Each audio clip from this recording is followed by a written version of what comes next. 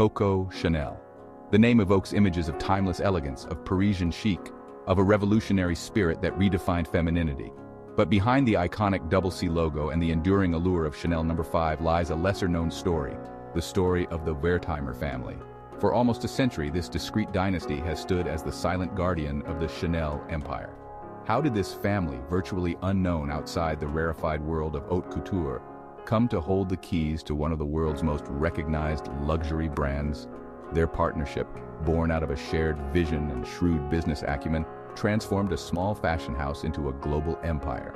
From the devastation of World War II to the cutthroat world of modern luxury, the Wertheimers have steered Chanel with a steady hand. This is the story of their legacy, a legacy woven into the very fabric of Chanel. Before we delve into the Wertheimers' profound impact, we must first understand the woman who laid the foundation for this iconic brand.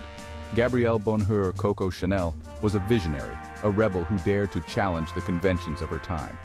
Born into poverty in 1883, she rose above her humble beginnings to become one of the most influential fashion designers of the 20th century.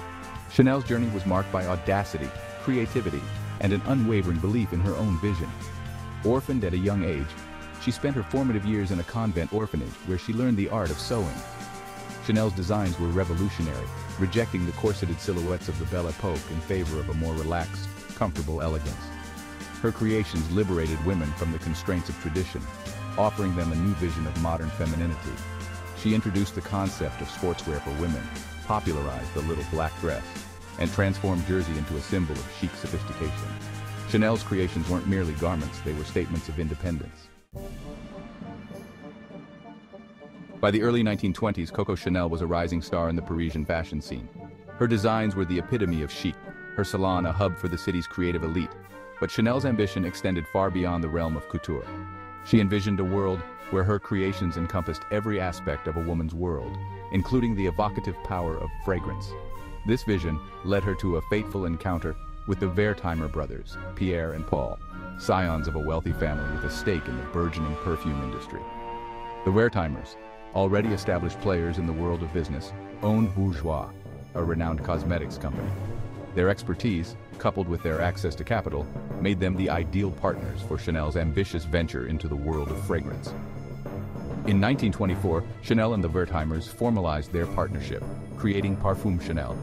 Chanel would lend her name and creative vision, while the Wertheimers would provide the financial backing and handle production, marketing, and distribution. The creation of Chanel No. 5 was a pivotal moment in the history of both fragrance and the Chanel brand. Chanel's brief to Ernest Beaux, the perfumer tasked with creating her signature scent, was characteristically bold. She desired a perfume unlike any other, a fragrance that embodied the essence of modern womanhood. Beaux rose to the challenge, presenting Chanel with a selection of samples, from which she chose the fifth. Chanel No. 5 was revolutionary, a radical departure from the single-note floral fragrances that dominated the market at the time. The Wertheimers' business acumen proved instrumental in transforming Chanel No. 5 into a global phenomenon. They understood the power of branding and marketing, recognizing that the success of Chanel No. 5 lay not just in the scent itself, but in the image it projected. Their strategic marketing campaigns, featuring iconic imagery and endorsements from celebrities like Marilyn Monroe, cemented Chanel No. 5's status as the world's most famous and coveted perfume. The result was a scent that was both alluring and avant-garde. The success of Chanel No. 5 provided a solid financial foundation for the expansion of the Chanel brand. Throughout the 1920s and 1930s, Chanel's fashion empire flourished. She introduced her iconic tweed suits, her signature quilted handbags, and a range of jewelry and accessories that epitomized understated elegance. Chanel's designs became synonymous with effortless chic, a timeless style that transcended fleeting trends. While Chanel focused on the creative direction of the brand, the Wertheimers worked diligently behind the scenes, managing the business with their characteristic shrewdness. They expanded the company's manufacturing capabilities, established distribution networks across Europe and the United States, and cultivated relationships with key retailers and influencers. The Wertheimers' understanding of the luxury market, coupled with their commitment to quality and craftsmanship, proved crucial in establishing Chanel as a global luxury powerhouse. However, the partnership between Chanel and the Wertheimers wasn't without its complexities. Chanel, a fiercely independent spirit, chafed at times under the constraints of the business arrangement. The outbreak of World War II cast a long shadow over the world, and the fashion industry was not immune to its devastating effects. In 1939, as the conflict escalated, Chanel made the difficult decision to close her fashion house, keeping only her perfume and accessory boutiques open. She retreated to Switzerland, seeking refuge from the turmoil engulfing Europe. The war years were a time of great upheaval for the Wertheimers as well. As a Jewish family, they faced persecution under the Nazi regime. They were forced to flee France, leaving their business interests behind. The Wertheimers managed to escape to the United States, where they continued to oversee their business operations from afar. During the war, Chanel attempted to leverage her connections to powerful figures within the Nazi regime to regain full control of her company. This move, driven by a combination of ambition and opportunism, would have lasting consequences for Chanel's legacy. The Wertheimers, upon learning of Chanel's actions, were understandably devastated. They'd considered Chanel not just a business partner, but a friend, and her betrayal cut deep. However, the Wertheimers were not easily deterred. They had legally secured their ownership of Parfum Chanel before fleeing France, and they were determined to reclaim what was rightfully theirs. After the war, they returned to France and successfully regained control of their company. Chanel, her reputation tarnished by her wartime conduct, found herself increasingly ostracized from the fashion world. The Wertheimers, now firmly at the helm of Parfum Chanel, faced the daunting task of rebuilding the company in the aftermath of war. In 1954, they reached an agreement with the aging designer offering her a lucrative contract to return to Paris and revive her couture house. Chanel's return to the fashion world in 1954 at the age of 71 was nothing short of triumphant. Her comeback collection, initially met with skepticism, soon captivated a new generation of women.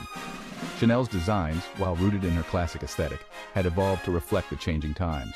Her suits were still impeccably tailored, but they now possessed a more relaxed, youthful silhouette. Chanel's second act cemented her status as a true fashion icon. The Wertheimers continued to expand the Chanel empire, introducing new fragrances, expanding into new markets, and cultivating the brand's image of exclusivity and luxury. The partnership between Chanel and the Wertheimers, though born out of conflict, proved to be a winning formula. Together, they navigated the ever-changing landscape of the fashion industry. Coco Chanel passed away in 1971, leaving behind a legacy as enduring as her iconic designs. The Chanel empire passed to Alain and Gerard Wertheimer, grandsons of Pierre Wertheimer. Alain, the elder brother, became chairman, bringing a deep understanding of the luxury market. Under his leadership, Chanel expanded into watches, fine jewelry, and skincare. In 1983, Alain appointed Karl Lagerfeld as head designer, marking a new era of bold creativity. Under Lagerfeld's creative direction, Chanel's runway shows became legendary spectacles transforming the Grand Palais in Paris into an immersive world of Chanel fantasy. Lagerfeld's designs were often whimsical, yet always elegant, reinterpreting Chanel's classic tweed suits, quilted handbags, and camellia motifs in unexpected ways.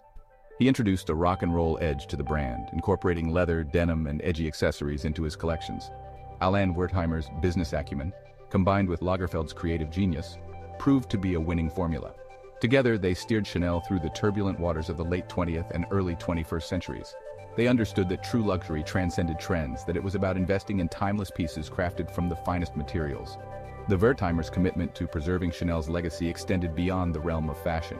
They established the Fondation Chanel, a philanthropic organization dedicated to supporting projects that empower women and girls around the world. Today, Chanel stands as a testament to the enduring power of vision, creativity, and strategic leadership. The Wertheimer family, the silent guardians of the Chanel empire for almost a century, have played a pivotal role in shaping the brand's destiny. Their unwavering commitment to quality, their deep understanding of the luxury market, and their ability to adapt to changing times have ensured that Chanel remains one of the most coveted and influential fashion houses in the world. The story of Chanel is a story of resilience, of reinvention, and of the enduring power of a legacy. From Coco Chanel's revolutionary designs to Karl Lagerfeld's whimsical reinterpretations, the brand has constantly evolved while remaining true to its core values. The Wertheimers, with their quiet leadership and unwavering dedication to preserving Chanel's heritage, have ensured that the brand continues to captivate and inspire generations of women around the world. As we look to the future of Chanel, One thing is certain, the brand's legacy of elegance, innovation, and enduring style is secure. The Wertheimer family, the stewards of this remarkable legacy, will undoubtedly continue to guide Chanel toward new horizons.